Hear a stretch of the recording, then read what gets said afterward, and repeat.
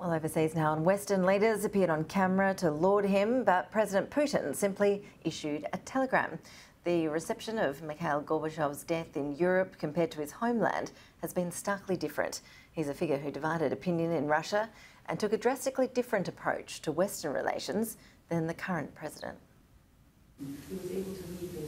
The passing of a giant among statesmen marked with a few solitary carnations at the foundation that he ran. Very ill these last few months, but still aware and deeply troubled by what was happening in Ukraine.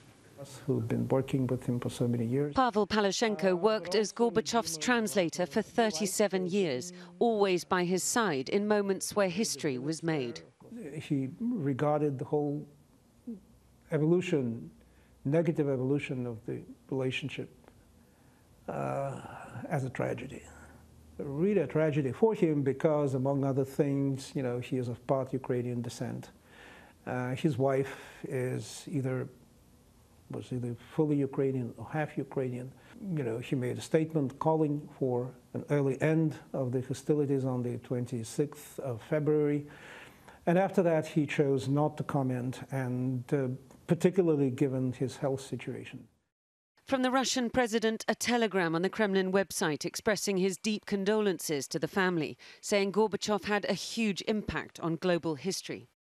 The official response from the Russian state has been fairly muted. It's hardly surprising, given Mikhail Gorbachev's mixed legacy here, and also the colossal differences between him and Vladimir Putin. One man intent on trying to build trust and better relations between East and West, the other, seemingly now at least, intent on ripping them apart.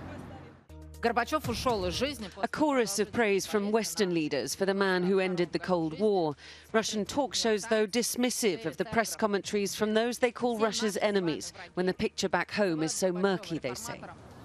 And certainly no love lost here for Gorbachev, across the lake from the cemetery where he'll be buried.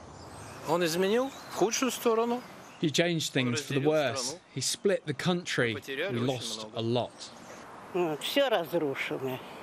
They destroyed everything, nothing good to say.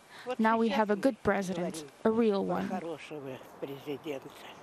Actually, you know, the way uh, many people misunderstand him is not Gorbachev's problem, it's Russia's problem, because I think that in order to really have a path to the future, it will have to come to uh, a proper appreciation of Gorbachev. A moral voice lost to Russia. He will be buried beside his beloved wife Raisa this coming Saturday. With a farewell ceremony, Russia's president has yet to confirm if he'll attend.